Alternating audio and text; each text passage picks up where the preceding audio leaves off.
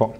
Hoxhë, në përkthimet e Kuranit tashmë kemi disa përkthyes. Në një version e kemi Zoti im, por në një version tjetër më të ri, te përkthimi i Sali Ferhat Hoxhës më saktësisht, qëndron zakonisht në fillim im Zot.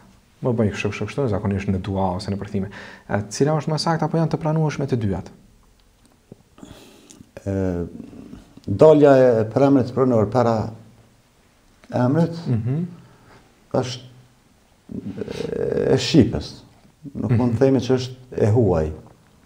Bile te tekstet e vjetra e gjen më shumë më shumë këtë pra, përemrin pronor për këtë këtë formë, po, mhm. se pastaj prapavënia e pronorëve është dukuri e veçantë e shqipes. Kjo është çështje gjuhësore që nuk duhet mhm. të me thënë këtë kuptim, por te përdorimi sot, sot besoj që Me përjashtim për ndonjë përdorim stilistik që do ta bëjmë mhm. më më shprehëse, se s'mund ta shojmë gabim. Mhm.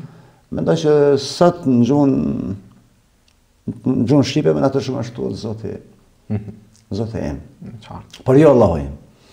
Jo Allahu im që e gjejmë shpesh të shkruar. Sepse emri Allah nuk lidhet me pronorët. Askon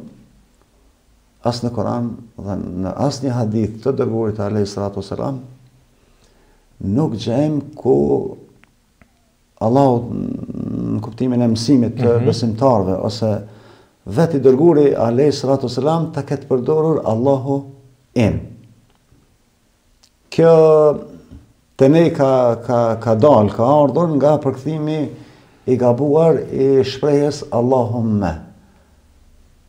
Shprehja, apo mm -hmm. fjala Allahumme, ka kuptimin o, o Allah, është thirrje, mm -hmm. por nuk është Allahu im, sepse emri Allah Nuk bën që të përdoret i lidhur me përemrat pronorë. Zot po, rab, rabbi, ose rabbi që është mhm. përemri në trajtë të shkurtuar në gjuhën arabe, po, Zoti im, Por jo Allahu